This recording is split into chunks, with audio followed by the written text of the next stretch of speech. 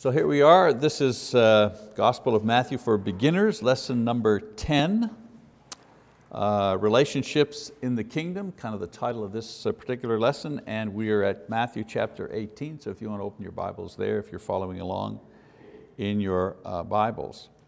So remember, the, um, one of the main things that Jesus is talking about here uh, is um, the kingdom, right? Is the kingdom.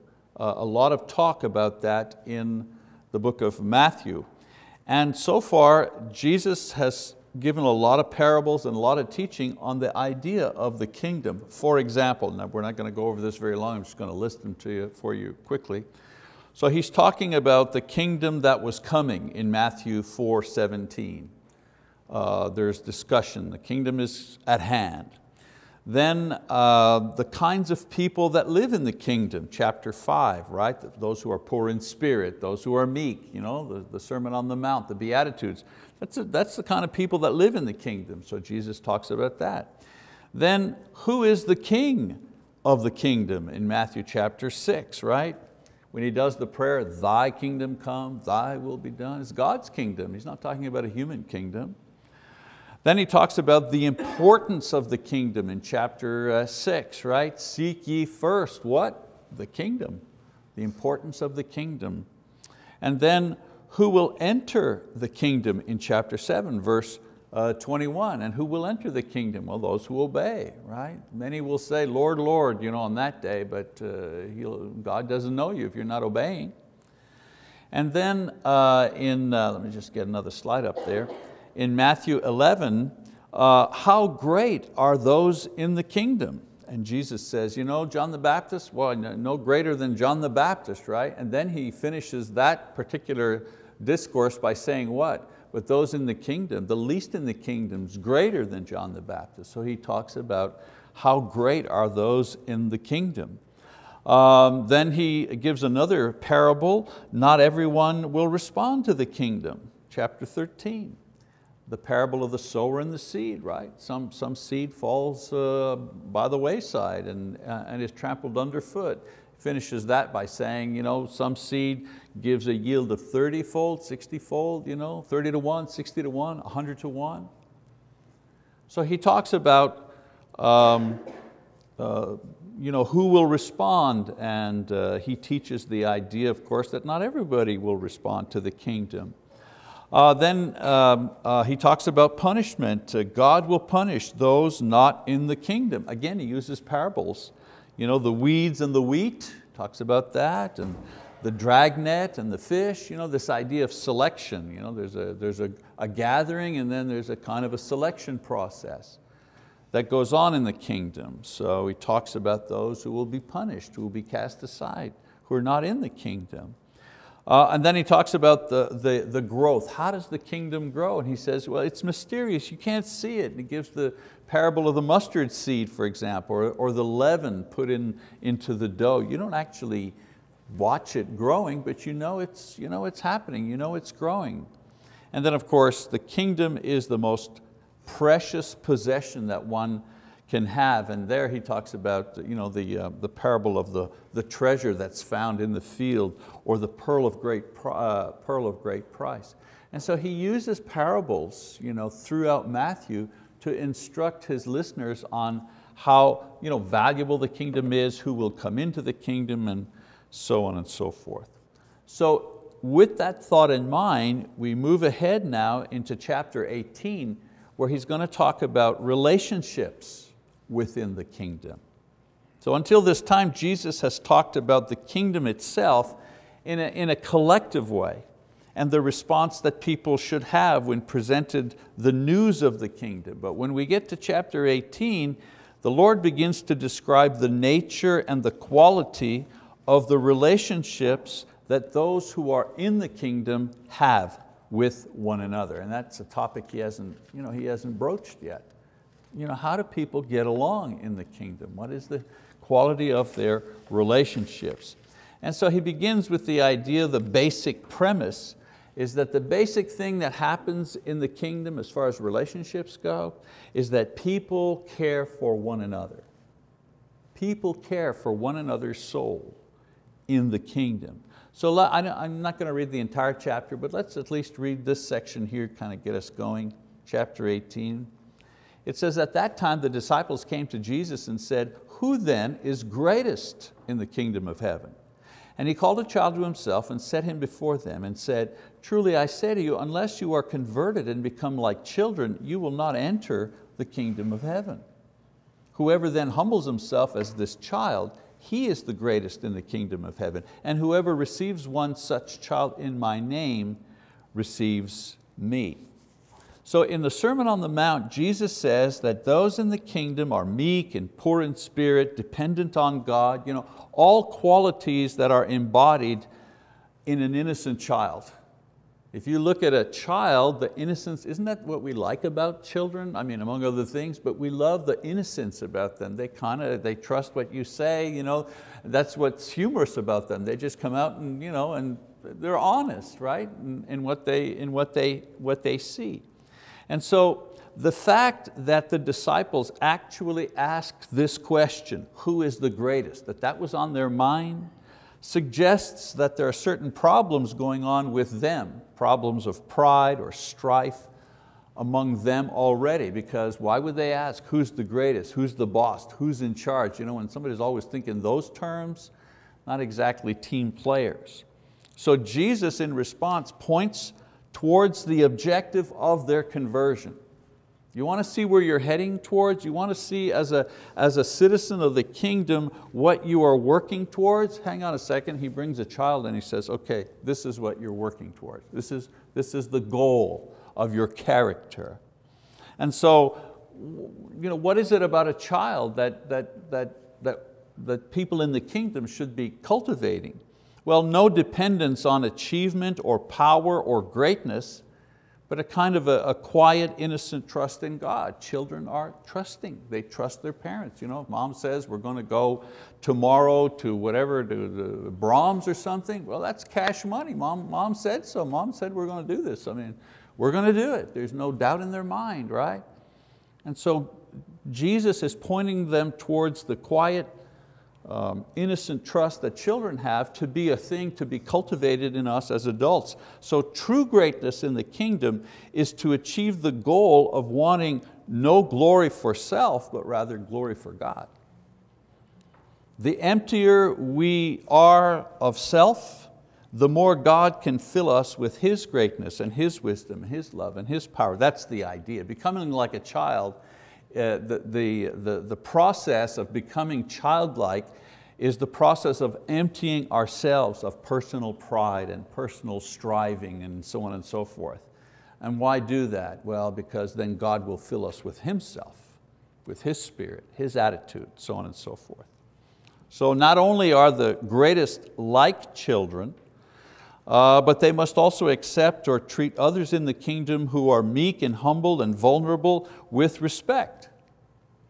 You know, as Jews, or, or as Jesus rather would have them do, uh, not manipulate them or despise them. You know, it's always tempting to treat someone, an, another adult, okay, who is innocent and trusting, there's always the temptation of taking advantage of that person because it's easy to talk them into things and it's easy to you know, brush things off on them and to uh, manipulate them in some way because they're trusting and they're childlike in their attitude.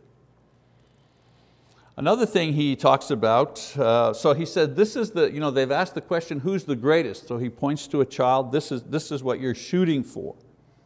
Then he says another thing about the child and their attitude, and that is he gives them a warning against offenses. And so in verse six, he continues, he says, but whoever causes one of these little ones who believe in me to stumble, it would be better for him to have a heavy millstone hung around his neck and to be drowned in the depths of the sea.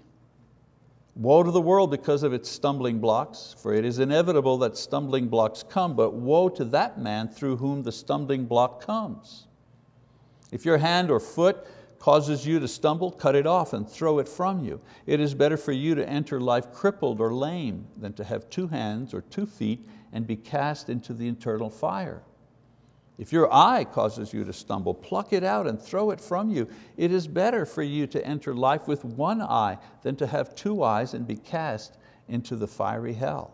See that you do not despise one of these little ones, for I say to you that their angels in heaven continually see the face of my Father who is in heaven. So Jesus issues a warning to those who would cause either a physical child or one who has become childlike in their innocence and in their trust, those people who are in the kingdom, he warns, make sure you don't do anything to cause them to disbelieve or to stumble or put something in their, in their way. And so he demonstrates by the severe warning that he gives them how precious these are and important. Consequently, how important they should be to us and that's evangelistically. You know, I, this is a great passage here for the idea of cultivating an evangelistic spirit towards children. Not only our children, all children. In the church, uh, obviously one of our most important works is the work that uh, the uh, brothers and sisters, mainly the sisters, do in teaching children from the very beginning. I mean, they're open, uh, you know, I don't know about you guys, but little kids that I see, they're anxious to go to their classrooms, they're excited, they, they participate, you know. So Jesus warns those of us in, the because this conversation here is about people in the kingdom. He's not talking to people outside the kingdom. He's talking about people in the church. And he warns people in the church, be very careful that the way you act and what you do does not cause a brother or sister innocent in Christ to stumble, and especially not little children. And it also suggests that they uh, can believe, and all we do while they are young either contributes or destroys the innate ability to trust and believe in God that a child has or a childlike believer wants to have. You know, some people say, well, you know, that boy, he was only 11, he was baptized. You know, I mean, does he have the faith to understand all the things? Well, yeah, maybe not. But he has faith. You know, he may not have faith to understand the deeper things, you know, but he has faith. He really does believe as true that there is a God and that Jesus died for him. And he may not know the depths of sinfulness that we might know at the age of 20 or 30, but his faith is faith. It's the faith of a child. It's the repentance of a child. It's the obedience of a child, but it's acceptable to God nevertheless. God never said, only the people who have really sinned badly you know, should repent. And only those who can really understand you know, the metaphysics behind you know, how, how the Holy Spirit dwells in us and who is the man of lawlessness. And, you know, he didn't say that. He just said those who believe and are baptized. He didn't qualify it to age or anything. And so we have to you know, I believe we have to be you know, proactive in teaching children in the church and not get in their way. And also, it recognizes the dangers in the world, but specifically points out those who are a direct cause of stumbling. And the stumbling here, the Greek word is for a trap. And the type of trap, you know, like a bear trap that just closes you know, and, and kind of injures the animal that you cannot escape from. He said, be very careful that you do not entrap an innocent child or an innocent, you know, someone who has an innocent heart in Christ.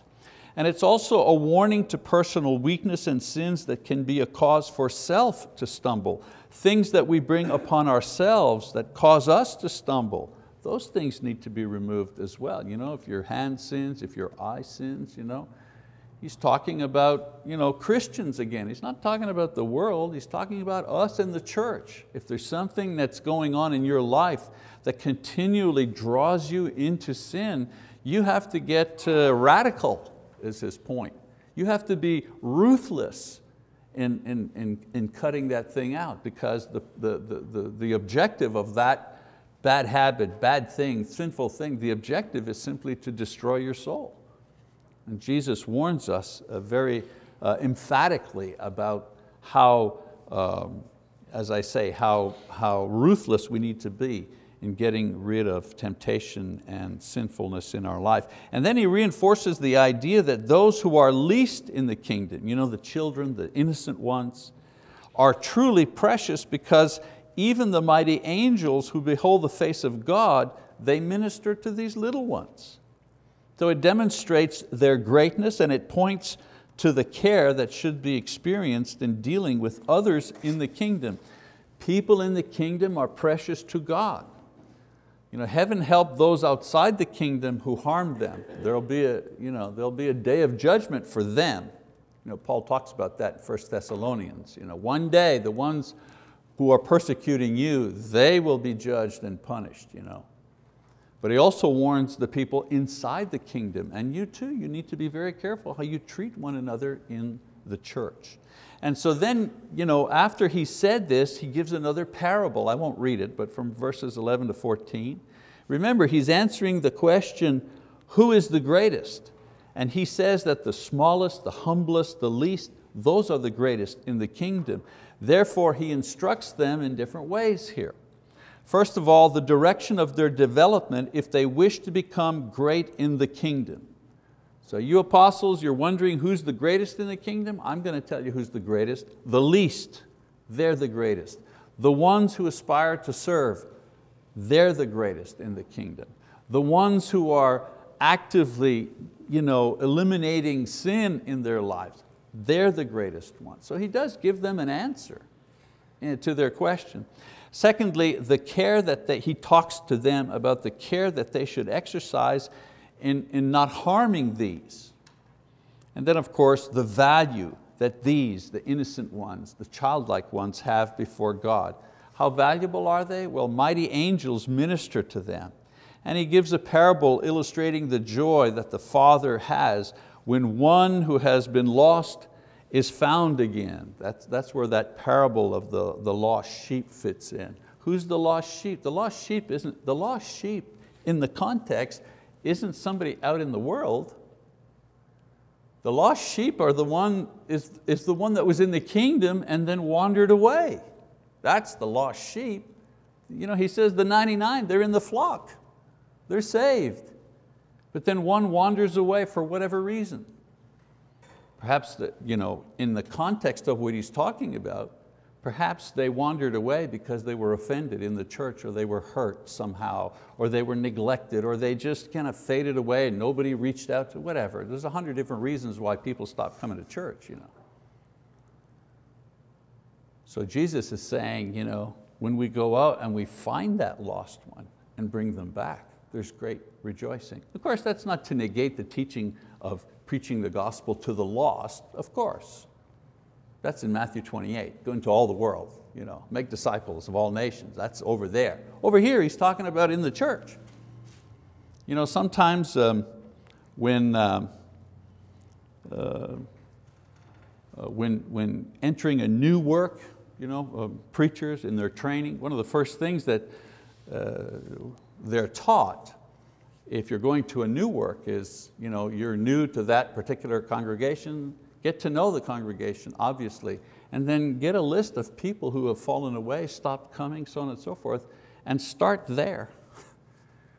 You know, your first job you know, as the preacher is not to go start door knocking you know, on strangers' doors. Uh, eventually that can come in a variety of ways. But before you do that, how about going to find the lost sheep? How about getting out there and finding the lost sheep, the ones who have confessed Christ, who are saved and now are risking their salvation for whatever reason? Because they've been hurt, because they, they're entrapped in some kind of sinful behavior, or sometimes it's not even sin, sometimes it's doubt. They just, nobody's been answering their questions and they just kind of back away slowly and you don't see them anymore. Go find those lost sheep. That's a, that's a ministry in, its, in itself.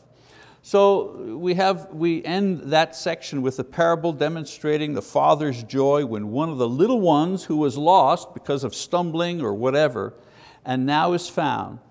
That parable serves as a bridge to the next section in this chapter about practical conflict management within the kingdom when offenses occur. So I told you, Matthew's well organized, right? So he, he talks about the kingdom, the kind of people that should be in there, and, and, and he, he, he, he uh, gives where Jesus warns about being careful about conflict and offenses, and then he goes on to say, now when offenses do happen, here's what you got to do. So there are a variety of ways that individuals deal with personal conflict in the world, right? Sometimes they go out and get revenge. Or they get angry, or they give them the silent treatment, or they gossip about, you know, somebody's hurt your feelings and so we round up a posse, right? We round up a posse and you know, our posse or our, our gang, you know, when we get together, what we do is we tear down this other person over here. I'm not saying we do that, I'm just saying those are different ways that people react to being offended. So Jesus outlines the way that personal conflict is to be resolved in the kingdom. Always keep that in mind. He's talking about in the kingdom. So in verse 15, let's take a look at that. He says, if your brother sins, go and show him his fault in private. If he listens to you, you've won your brother. But if he does not listen to you, take one or two more with you so that by the mouth of two or three witnesses, every fact may be confirmed. If he refuses to listen to them, tell it to the church, and if he refuses to listen even to the church, let him be to you as a Gentile and tax collector. So from be careful that there be no offenses, to, okay, when there are offenses, here's what you need to do. There's a procedure involved. First, a personal and direct confrontation with the issue and the person involved. I want you to note that the objective is to win the brother, not win the argument. Big difference. To win back the one who has offended you, not to prove that you were right or you were hurt. Because that's normally what we do, right? We, all right, I'll go see them to try to convince them to see how hurt I am and how what they did really hurt me. But that's not what Jesus is saying here.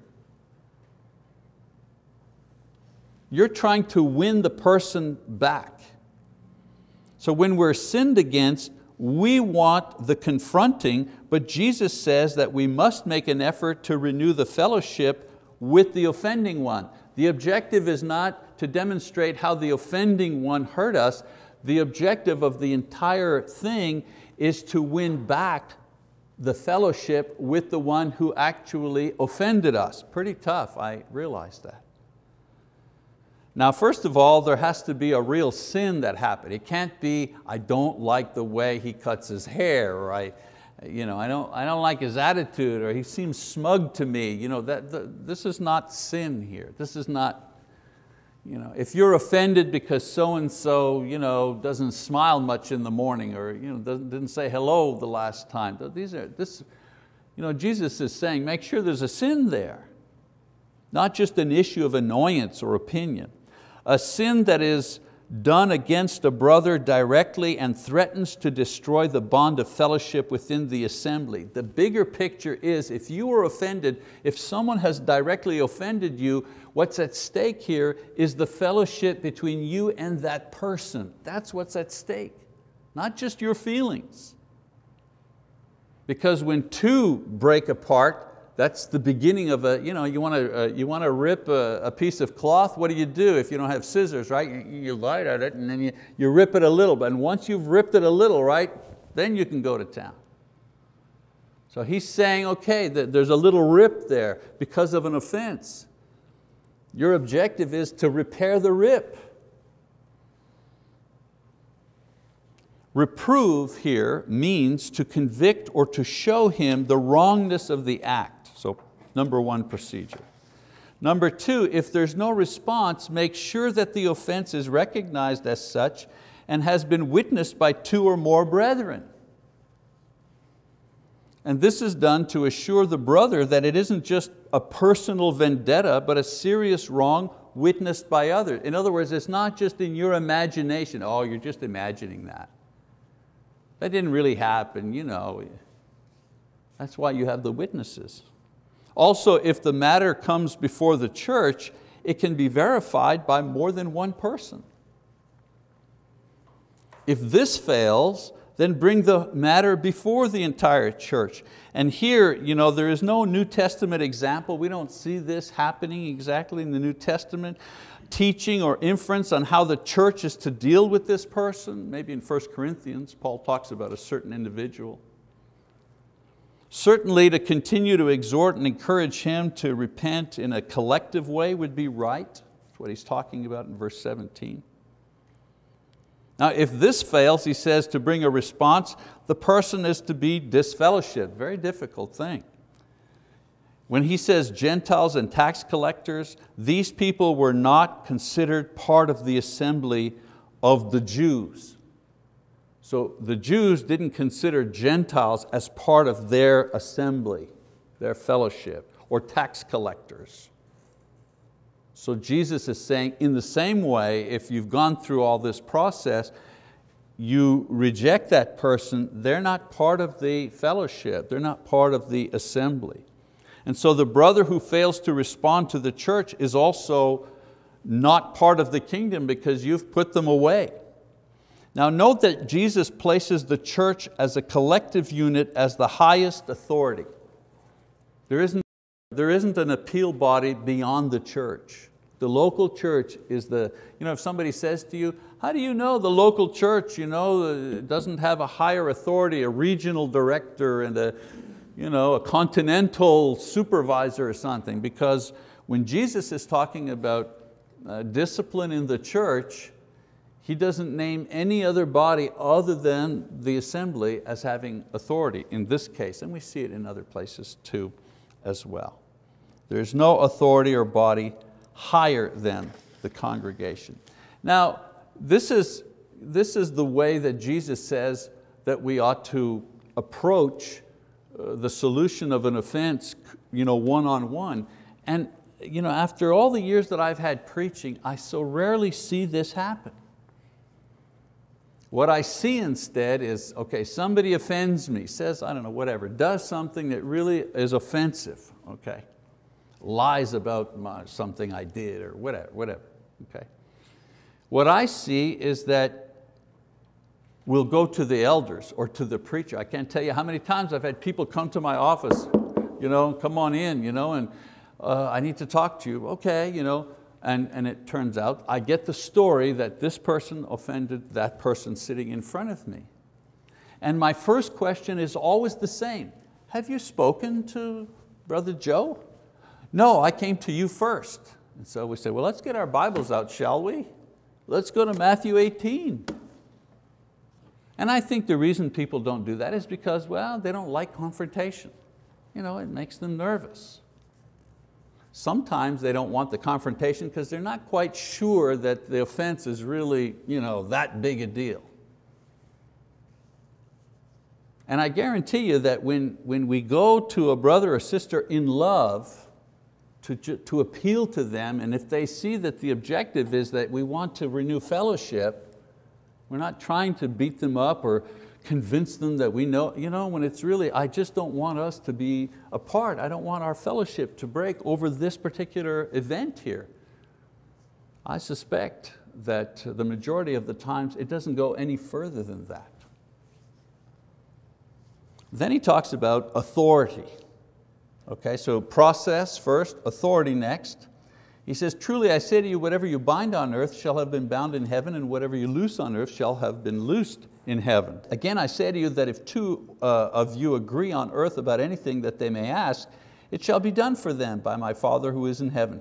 For where two or three have gathered together in my name, I am there in their midst. So Jesus confirms with the statement of binding and loosing that whoever they pro, uh, process in this manner, their actions will be with the authority of heaven. Why? Because something has happened, we are reacting to it exactly as Jesus has asked us to do so. Well, when I'm acting exactly as Jesus has told me to do so, then I have authority. Uh, when someone comes to me and says, what must I do to be saved? I say, well, you need to believe in Jesus and confess His name. You need to repent of your sins and, and be baptized in the name of Jesus. And I feel very strong authority. I can, if that person says, that my sins really forgiven, are you sure? I can tell them 100%, I'm absolutely sure. I can speak with authority. Why? Well, because I'm doing exactly what this says. I, didn't invent, I did not invent any of that. In the same way, we speak with authority for discipline in church matters when we are following exactly the pattern that Jesus has given us. We can do these things with authority. So if they forgive a brother, his sins are forgiven in heaven, to loose. And if he refuses to repent, he will be out of the assembly on earth and his sins will remain. They'll be bound and so will they be in heaven. So we're not usurping some sort of authority. We're not kind of taking on ourselves some sort of, you know, who do you think you are, God? You know, we're, no, we're simply following the pattern that Jesus has given us to deal with these, with these issues. So when the church gathers to obey and honor Christ, He is with them and, and He is there to answer their prayers in matters of discipline or any other matter as well. And some people take this passage and really stretch it out of context. You know, uh, if we're two people meeting in my living room, you know, we're the church. Uh, no, because yeah, that's not what he's taught. He doesn't talk here, he doesn't teach here um, uh, on the subject of what constitutes the church. He's simply saying when the church gathers together, no matter how big or small it is, to um, exercise discipline, if you follow what I teach you, I'm there with you. I'll back you. If you say this brother, his sins stay with him because if you, he refuses to repent, know that I, I, you know, I back you on that. I, I, I support you in this thing. I mean, we, we even know it as parents, right? You got four kids, we did anyways, and if we went out and we were leaving you know, somebody in charge, you know, we never left Paul in charge, that's for sure. Because, but, but anyways, if we left one of the kids in charge, what did we say to them? We would look at the younger ones and say, all right, now you listen to what Julia is saying. And if she gives us a bad report when we come back, there won't be any back talk. So when you're listening, you know, if she says it's bedtime, you better not play around, it'll be bedtime. And let's not hear. But this is exactly what Jesus is saying. You know, I've put you in charge, the church, this is how you ought to do things, and if you do it the way you know, I want you to do it, I'm backing you up when it comes time for judgment. All right? All right, then he goes on, the basis for maintaining relationships. Remember, this whole section is about relationships in the body, not relationships. Why does Matthew 18 does not necessarily work that well you know, in the world? Because it's not meant for people in the world. People in the world have other criteria on how to deal with these type of things. So the process, the authority, now the basis for maintaining. How do, you, how do you avoid these types of things? How do you repair these types of things? So Jesus prepares us for life in the kingdom by describing how precious it is and how difficult it is for sinful people to grow in love and in faith. It's not easy. Take 400 people, put them together in one unit as a church, there's bound to be trouble.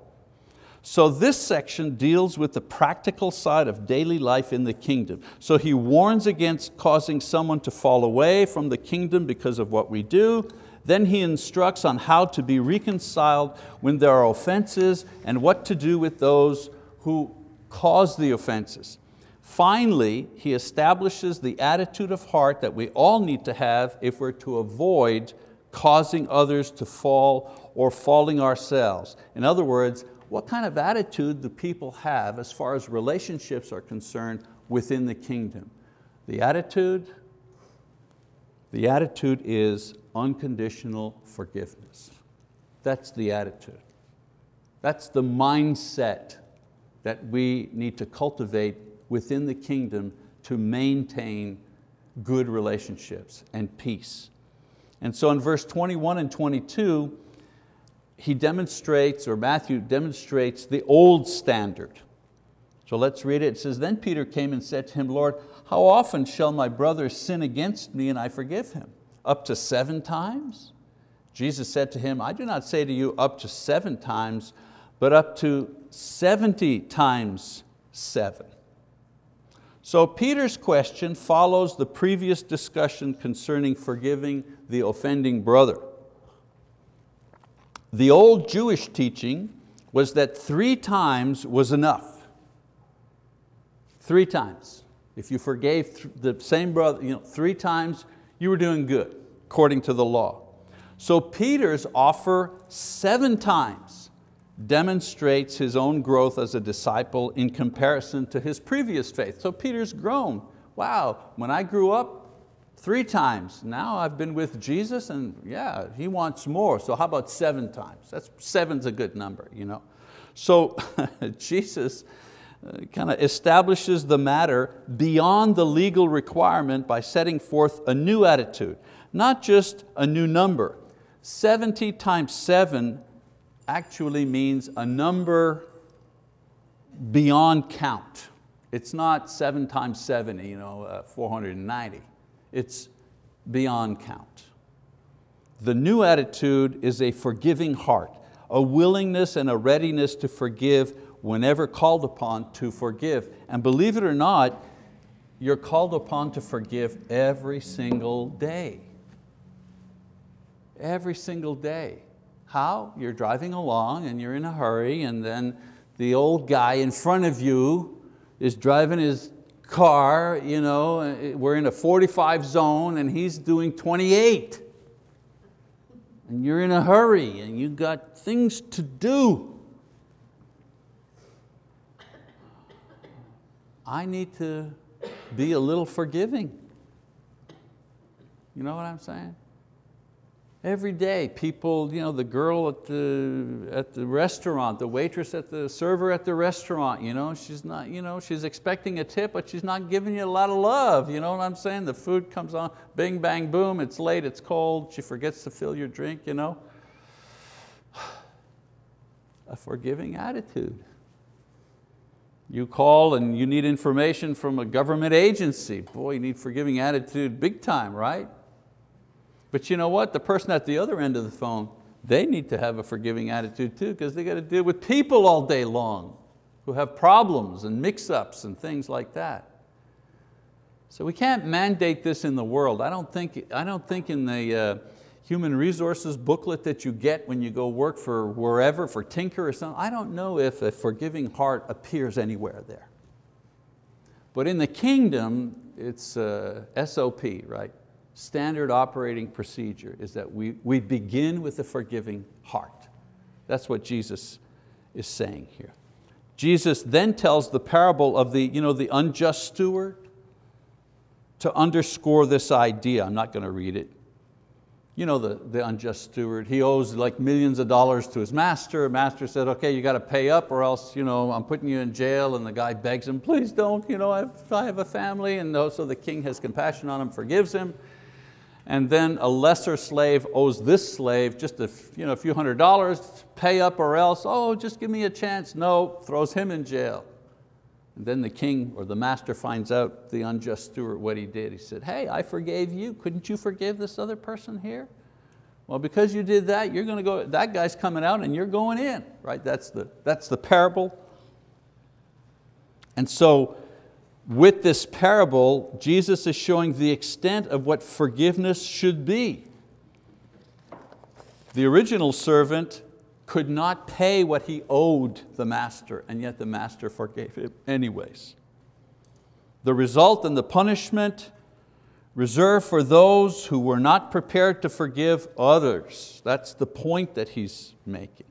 And then in verse 35, he summarizes the entire passage by warning against the hardness of heart that refuses to forgive the brethren, they, uh, uh, the brethren their offenses. I, have always said that the minute, I think, I forget if it was Mike or Marty, somebody, or it may have been our guest speaker on Sunday, you know, the day that you're, the day you decide you've had enough, no more forgiveness for that person, is the day that God decides, okay, no more forgiveness for you either. You, know, you turn the tap of grace you know, flowing down on that person as you're turning the tap off, the tap above you for the grace that's falling down upon you is being turned off in heaven. I know it's a kind of a, a crude uh, analogy, but it's pretty much what Jesus is teaching here. You maintain your own state of grace and ongoing forgiveness by doing and extending that to, to other people. So the lessons about the kingdom here that are taught, when it comes to offenses, well, first of all, make sure you're not the one causing the offense, either to another person or to God by willful, continual sinfulness. So make sure you don't do that. Then number two, deal with those who do offend in a Christian way when it happens. Remember, the, the, the objective of, a, you know, when you're not, you know, when there's friction between you and a brother or sister, the objective is to repair the fellowship, not win the argument. And then finally, forgive others readily and graciously when you are offended because in the measure you forgive others, God will forgive you as well. All right, so we finish 18, moving on here, we're almost done, another couple lessons, we're done on this one. All right, thank you for your attention.